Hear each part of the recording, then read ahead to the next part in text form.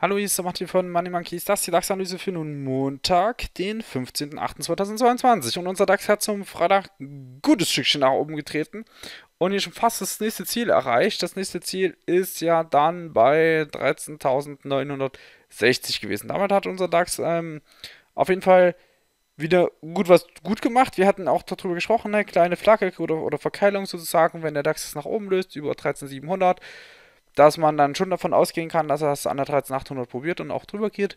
Ähm, 865 sollte eins der Ziele sein. 900 und 69 dann. 69 finde ich schon mal interessant. Das ist hier so ein kleines Tief, was hier von hier links kommt. Das, die Linie war wohl vorher schon da, also die ist jetzt nicht wegen dem kleinen Tief da.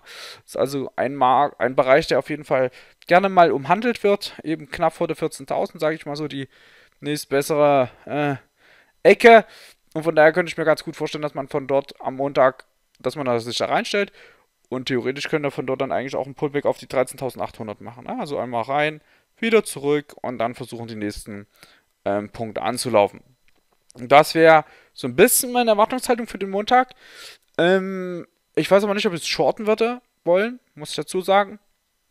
Sollte der nämlich hier nicht jetzt drehen, also das müsste man auf jeden Fall eng absichern und ein schönes Signal abwarten, na, bevor man sich dann da äh, zu sehr gegen, gegen die Bewegung dann stellt, ähm, bricht er nämlich da durch, sollte, sollte der 13.960 dann durchlaufen oder auch drüber gehen, ähm, wäre halt der nächste wichtigere Bereich auch tatsächlich erst im Bereich um 14.100 rum halt. Ne? Also 14.50 ist immer mal gerne genommen gewesen, so aus den vergangenen Wochen, Monaten, die immer mal gerne gespielt, 14.50 und 14.100. Das wären dann die nächsten Punkte, wenn die 69 hier nicht hält und ja, das soweit der Blick auf der Oberseite.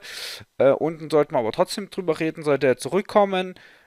Egal ob von 69 oder vielleicht auch schon vorab, vielleicht auch schon von der 888 hier, sollte sich zurückdrehen, wäre 13.800 jetzt ein gutes Unterstützungsniveau. Sollte die 13.800 nicht halten, wäre das ein erstes Anzeichen dafür, dass die Supportniveau nicht hält.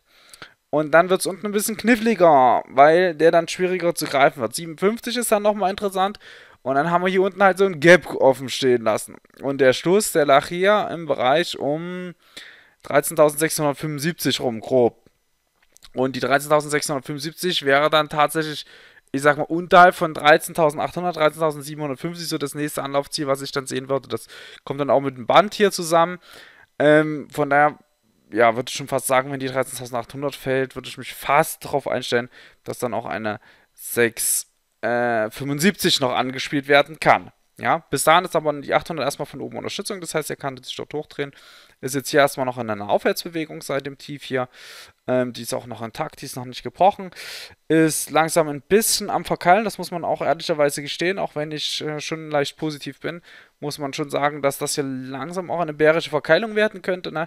Das heißt, die Hochs werden immer flacher und die Tiefs kommen immer steiler rein. Ne? Und da kann auch, kann auch eine bärische Verkeilung werden hier im Großbild.